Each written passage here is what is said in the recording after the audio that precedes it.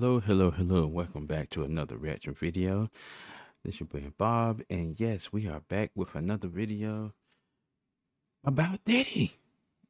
This is gonna be another installment of probably most likely many um of this mogul and done turned way left type of person and you know this this is crazy like it's like a whole lot of stuff that's going on i don't want to talk too much about it because i know it's like a lot of stuff that's going to be needed to be unpacked like in this video apparently there's some audio that been leaked going off by somebody else's um video they saying that it saying that it leaked and we don't know what's going to happen. We don't know what. I don't even know what I'm about to hear. So it's involving Meek Mills, and everybody's already digging in Meek Mills right now about him being like right there under, you know, right there under Diddy and everything like that and stuff. So I don't know. It might be something valuable, or it might not be. We don't know. But let's take a listen for ourselves, See how we? Might be kind of a little rough too. Diddy had that man in the room. Look, yes, I put my ear to the door and I brought the phone because Diddy started going in overdrive. I ain't know what the was going on, but I just heard balls slapping against cheeks. I heard struggling to take Ooh, child. So it Bro. looked like the allegations about Meek being Diddy's boy toy were true after all, because an audio just what? leaked of Meek screaming for his life when Diddy mercilessly clapped his cheeks. One thing about the internet, they ain't never. I, I yo, bro, this better be fake, yo. This better be fake, yo. Come on, now, seriously, this is really happening right now we don't know what you know what? I'm not even going i'm not even going to do too much pausing. Even though there's a lot of fucking pause need to be in this. A lot. After that first take we just got a while ago. But yeah let's let's let's see if we can make it through this without me pausing. Because this is like a this ooh, this is a lot to like i said it's a lot to unpack on this part. You know the said audio leak not too long ago. So i'm just checking it out for myself. This is my first interaction with this video. I'm telling you right now. Like it popped up. It seemed like it was it seemed like it was interesting and everything like that. So why not take a look see, you know? It might be something in it that we could go off of and everything. Cause right now at this point, I'm skeptical. For real, for real gonna forget and always come through with receipts, honey. Now, if y'all remember, Meek was exposed for being Diddy's little twink a couple weeks ago, but what? Meek denied these allegations and He's even started threatening the people who were speaking on it. Well, it looks like he was running his mouth a little too much yeah. because people started digging for evidence, and girl, they found some things that not even Meek can deny. Apart from the disturbing audio of him getting pounded by Diddy, there's also an old song where Meek blatantly admitted to getting freaky with Diddy for a check. Oh, y'all better sit back what? for this one, because we've got a lot to get into here. Okay, so as most of y'all already know by now, Diddy is currently on the run, and he's reportedly hiding in the Caribbean islands after the feds flooded his home and raided it for evidence. Well, right, that from this when this video was made, he was on the run. But now, last sighting that I've seen that I've known on the internet, he's saying they saying he was like shirtless in Miami. I don't know if that's where he's still at or not. I don't know. That's you know just to bring up to updates and everything like that to what's going on now evidence that they could finally throw him in jail with. Now, both of his sons, Justin and Christian, who mm. were also tied to his dirty dealings, were cuffed up and thrown into police vehicles. Now, while all this was going down, what? the attention quickly shifted the from the raid to Meek Mill after Diddy's ex bodyguard leaked an audio tape of Meek getting pounded by Diddy during one of their freak off sessions. The reason what? why this got a lot of people's attention is because Meek had already been exposed as Diddy's boy toy a couple weeks ago, but he adamantly denied and tried to make it look like people were just trying to emasculate him. Whole time, he really was bending over for Diddy. Like, you uh, cannot make this up. Now, for those of y'all who don't know, a music producer by the name Lil Rod filed an explosive multi million dollar lawsuit against Diddy a couple weeks ago for SA. Not only did he incriminate Diddy, but he also name dropped other people in this lawsuit, including Diddy's sons, Justin and Christian Combs, Young Miami, Usher, and Meek Mill. Apparently, Justin and Miami were in cahoots with Diddy essaying a bunch of girls, and Miami was the one in charge of illegally servicing these girls to Diddy. Rodney also went to expose Diddy for sleeping with some of the men in the industry, and in exchange, he would give them all the opportunities they want in Hollywood. And as you can already guess at this point, Meek was at the top of that list of men letting Diddy slide in for a couple opportunities. Ugh, come Rodney on, man. even said Diddy confessed to him that he coerced Stevie J into a freak off session with the promise of getting Stevie a Grammy for Producer of the Year. Now, this is where things get even messier because somewhere in the lawsuit, he also exposed Meek Mill and Usher think I'm gonna start cutting Oh carbs. God, I need to drop my on, belly yo. fat.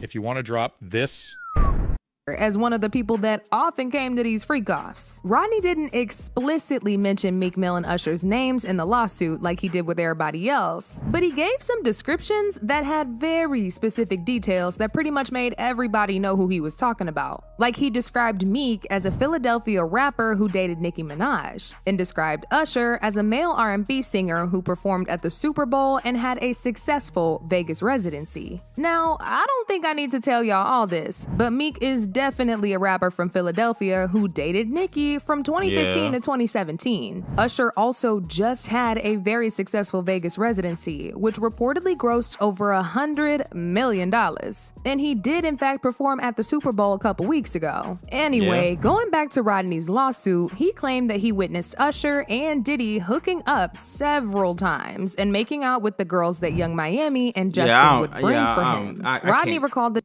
I, I can't stomach that one. I, I I can't stomach that one. People would do anything, anything, and anything to get ahead.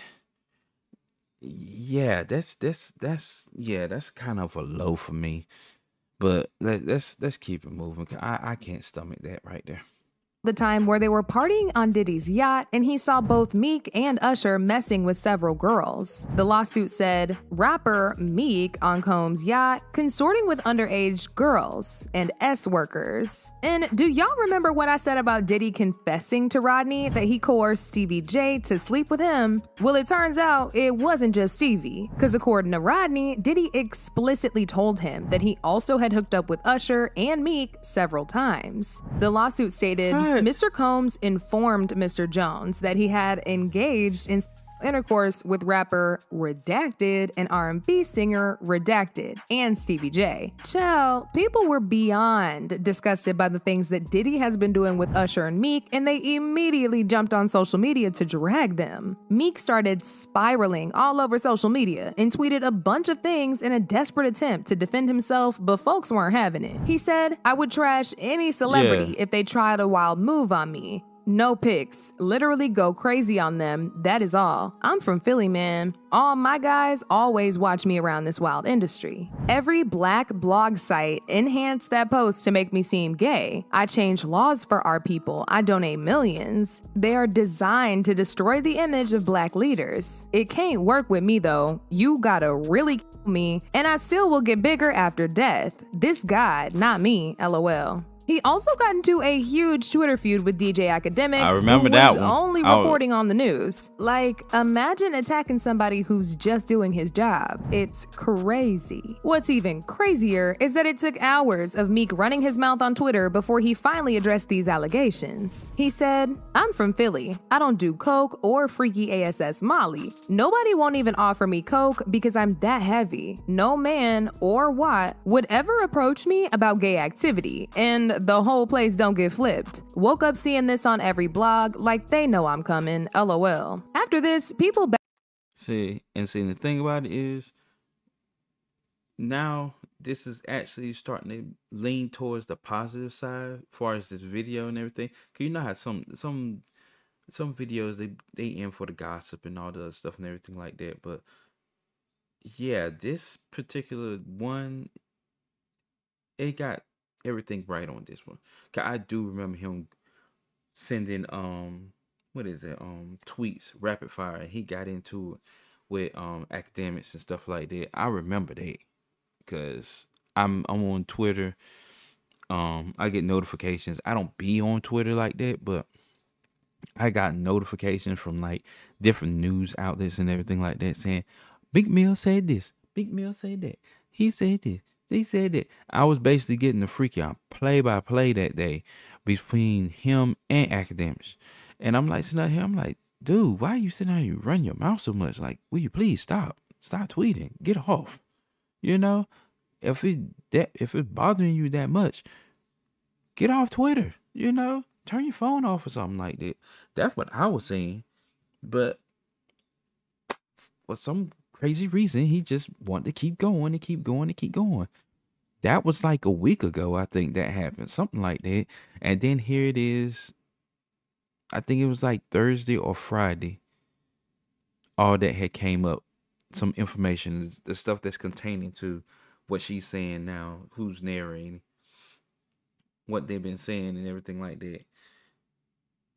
They was like basically saying Meek Mills and set up then just blown his own cover and all that stuff, just like she talking about in the video. So I'm gonna keep on going because right now things are starting to look on the good side. I'm I'm still trying to stomach that whole Usher thing. I really am.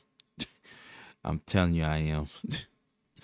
For this crazy man backed off for a while because it was clear as day that Meek was beginning to have a mental breakdown and they ain't want yeah. him to spiral anymore. That was until Diddy's ex bodyguard leaked an audio of Meek getting pounded by Diddy. Chow, I was shocked to the core when I first heard the audio. Aside from the fact that the voices of the audio sound exactly like Meek and Diddy, it was very disturbing to listen because Meek was screaming what? at the top of his lungs and it really sounded like he was in serious pain, but Diddy just kept going Now, y'all know I can't play the full audio for y'all because it really is that disturbing, yeah. but I'ma just let y'all hear a little bit. And again, just know it's very disturbing and oh very sensitive.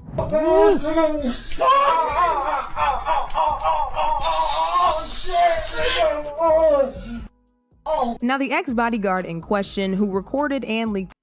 Yeah. Oh my god.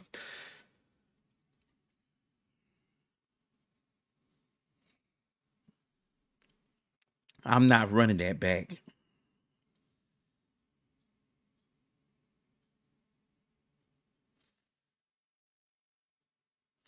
Yeah.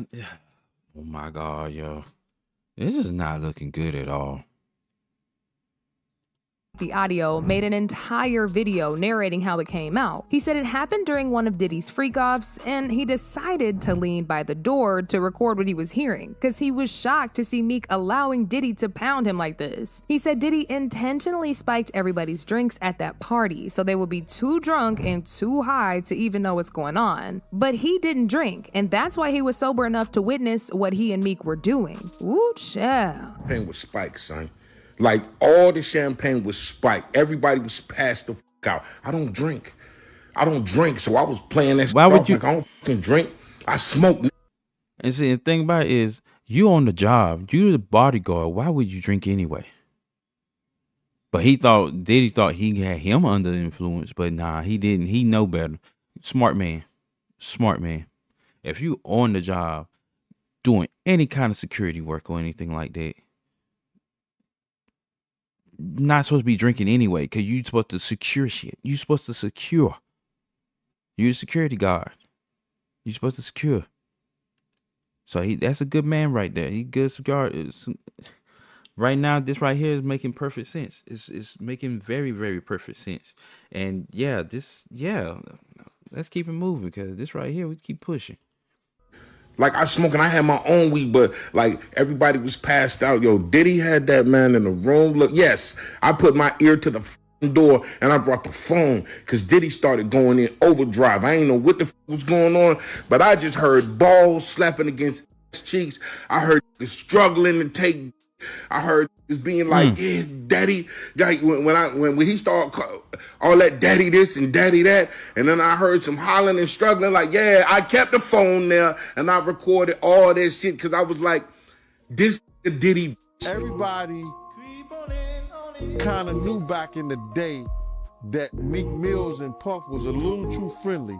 Anytime two rappers or two people in the industry come dressed up alike on more than one occasion. I mean, do y'all remember that? Ah. This is a aha moment for me.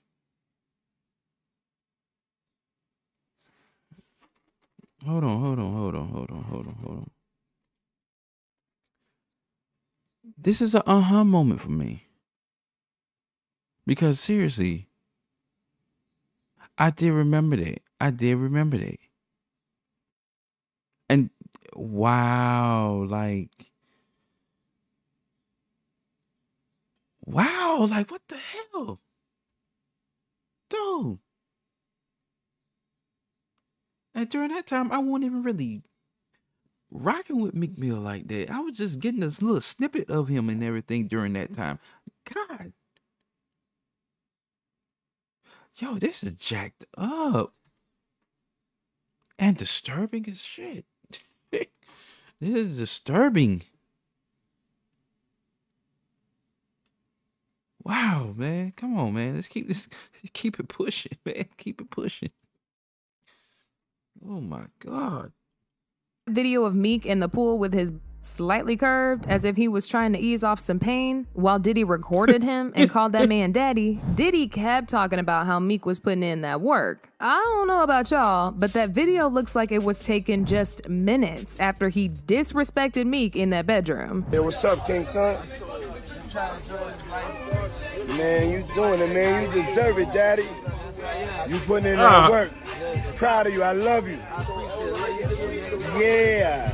Somebody Ah. reacted by saying, Looks like a private pool party. Meek cooling that hole. Another person said, Meek Mill cooling those cheeks after putting in that work. And to make matters even worse, Meek was caught following a corn page on Twitter that exclusively posts videos of black men pounding each other. Maybe Oh he my was trying God, to are learn you some new positions serious? for Diddy. Who knows? But as soon as people caught him, he immediately unfollowed the page. As if all this information wasn't incriminating enough, an old song that Meek recorded a while ago leaked online, and he seemingly revealed to getting his cheeks slapped by Diddy in order to make it in Hollywood. The song is about him chasing his dreams and trying to make it in Hollywood, and then he goes back to ask for forgiveness for what he did with Diddy. Y'all, just listen to this. I, I hope they forgive me for what I did with Diddy. Dream chasers. I hope they forgive me for what I did with Diddy. Real street nigga forever. I'm the king of Philly. Carhartt. Baby, this is really sad, and it's clear as day that Diddy has exploited the hell out of Meek for a very long time, and Meek couldn't do anything to stop it because he thought if he made his body accessible to Diddy, then Diddy would elevate his career. That obviously didn't happen long because Meek's Nope. career is in shambles. He got dropped from his label, his last album flopped miserably, and now he's an industry outcast because no rapper wants to associate with him after finding out what he's been doing with Diddy. Now, as usual, people had a whole lot to say about this. Like this person who said, I can't believe so many of our black men are putting their minds and bodies through unnatural things. That sound, I should have never heard that. Another person said, I feel violated after listening to that audio. Terrifying. Man. But now I want to I know felt some your way about it. thoughts. What do y'all think about Meek getting his cheeks clapped by Diddy in order for opportunities in Hollywood? And do y'all think Meek is just another victim of Diddy's depraved ways, or did he actually enjoy it? Y'all been knew what to do. Let me know your thoughts in the comment section down below. And don't forget to click here to watch this other very messy video.